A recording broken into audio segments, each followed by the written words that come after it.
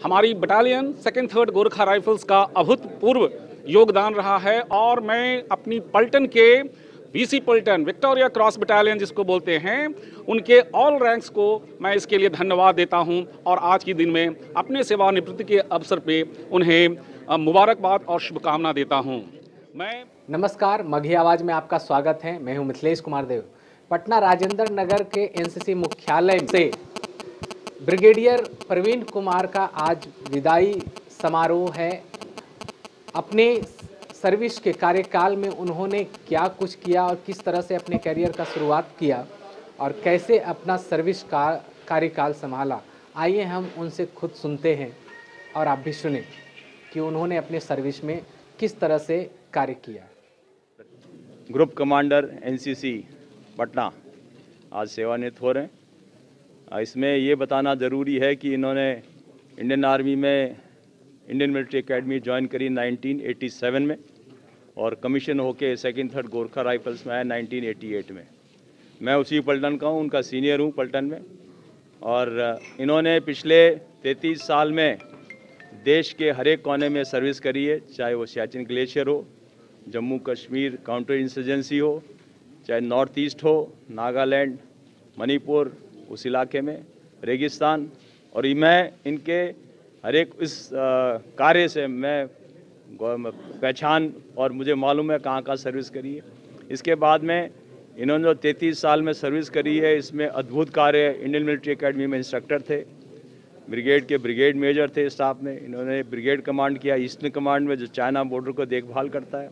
इसके अलावा इन्होंने नेवल हायर कमांड किया, जो कि नेवी का युद्ध शैली और नेवी के साथ कार्य करने का जो क्षमता है।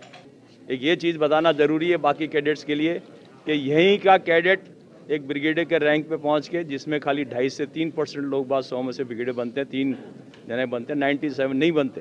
तो इस रैंक में पहुंचकर आज उसी जगह से रिटायर हो रहे हैं जहाँ से वो एक कैडेट के तौर में यहाँ पे एनसीसी में आए थे। तो इसमें इन्होंने एनसीसी में यहाँ पर भी अद्भुत काम किया।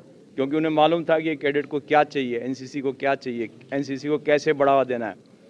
आखिरी बात जब साहब पोस्टिंग के लिए इन्होंने चॉइस दिया तो इन्होंने अपने बिहार स्टेट के लिए कार्य करने के लिए इन्होंने बोला मैं वहीं से पैदा हुआ हूँ जहानाबाद में वहीं कैडेट था तो मुझे उस, उसी यूनिट में एनसीसी ग्रुप सेंटर में भेजिए। और यहाँ आने के बाद में साहब ने बिहार स्टेट के लिए भी बहुत काम किया है। मुझे मालूम है जगह जगह जब आप यहाँ पे फ्लड्स आए थे तब कार्य किया बहुत अद्भुत कार्य किया है।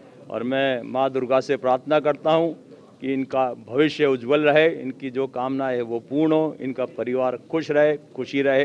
जय हिंद। सो आज जहाँ से मैं एक एनसीसी कैडेट के तौर पे प्रशिक्षित होकर के इंडियन मिलिट्री एकेडमी ज्वाइन किया था और लगभग 33 वर्ष की आर्मी की सेवा के पश्चात आज उसी ग्रुप हेडक्वार्टर एनसीसी पटना से मैं सेवानिवृत्त हो रहा हूँ। तो मेरे लिए एक बहुत ही गौरव की बात है। मैं धन्यवाद देना चाहता हूँ भारतीय सेना का जहाँ की रह करके ये तैंतीस वर्ष मैंने बिताए और बहुत अच्छे बिताए। बहुत खुशी है मुझे अपनी सेना की सर्विस पे और सेना पे, भारतीय सेना पे। और मैं धन्यवाद देना चाहूँगा अपनी रेजिमेंट और अपनी battalion second third Gurkha rifles का, कि वहाँ की एक ऐसी कल्चर है कि एक साधारण ऑफिसर इस रैंक तक पहुँच सकता है। इस यहाँ पर आने में, यहाँ पे पहुँचने में हमारी battalion second third Gorkha rifles का अभूतपूर्व योगदान रहा है और मैं अपनी पलटन के वीसी पल्टन विक्टोरिया क्रॉस बटालियन जिसको बोलते हैं, उनके ऑल रैंक्स को मैं इसके लिए धन्यवाद देता हूँ और आज के दिन में अपने सेवानिवृत्ति के अवसर पे उन्हें मुबारकबाद और शुभकामना देता हूँ। मैं धन्यवाद देता हूँ उन सारे सहयोगियों का, चाहे वो ऑफिसर्स हों जे हों एन हों, सिविलियन स्टाफ हों, हमारे बहादुर जवान हों, हमारे अच्छे कैडेट्स हों, उन सबों का, जिन्होंने अपना प्यार, अपना सहयोग और अपना कठिन वर्क कल्चर से एक टीम के तौर पे काम करके मुझे एक अच्छा काम करने में मदद किया और सफल रहने में मदद किया। धन्यवाद। जय हिंद।